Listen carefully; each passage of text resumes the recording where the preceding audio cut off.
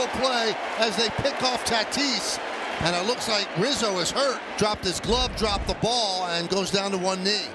I just hope that he didn't get his wrist caught back in. See a little push to Tatis, but uh, you know, trying to get out of the way. a lot.